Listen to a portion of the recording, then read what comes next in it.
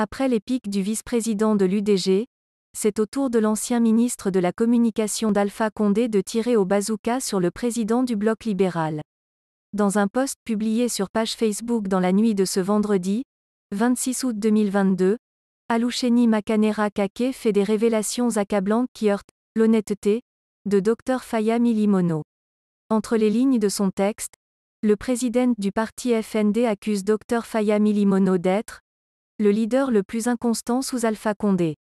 Le meilleur allié du président Alpha Condé plus que n'importe qui et c'est lui qui a fait le plus la campagne pour Alpha Condé. J'attends sa réaction. J'ai d'autres révélations avec preuve à l'appui contre lui. Faya a toujours vécu dans le mensonge. Pour preuve, Faya a dit à ses partisans de travailler avec l'ex-ministre de l'Agriculture Patrick Milimono. Je le mets au défi de démentir ce que je dis, je n'ai encore rien dit. Il sait bien ce qui s'est passé lors du mariage de la fille de Papa Koli Kuruma, a-t-il écrit. Depuis deux jours, le médiateur de la CDAO en Guinée continue à discuter les acteurs sociopolitiques du pays, en vue de créer un cadre de dialogue avec le CNRD. Dans la journée du jeudi, 25 août 2022, Thomas Boni Yahi a échangé avec l'ANAD, la CORED, le RPGAEC et le FNDC politique. Après cette rencontre qui a duré plus de trois heures, d'autres coalitions reçues avant n'ont eu que des minutes d'échange avec Boni Yahi s'offusquent déjà.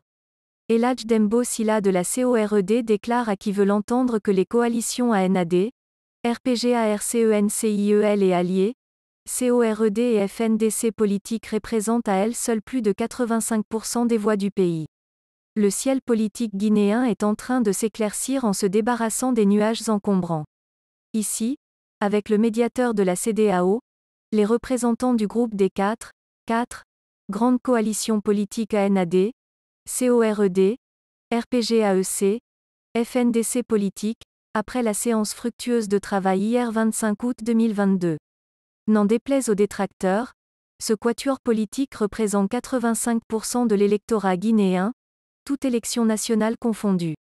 C'est pourquoi, nous suggérons un format de dialogue politique conséquent, c'est-à-dire, un cadre de dialogue crédible qui mettra en face d'un côté le CNRD et le gouvernement et de l'autre seuls les acteurs politiques et sociaux qui ont des revendications sur la conduite de la transition, en présence du G5 et sous la supervision du médiateur de la CDAO. Les politiques qui sont en accord avec le CNRD sur la gestion de la transition peuvent apporter leur soutien et leurs idées aux représentants de celui-ci et du gouvernement qui seront autour de la table de dialogue. Il est temps pour chacun d'agir à visage très découvert. Wassalam, a-t-il dit.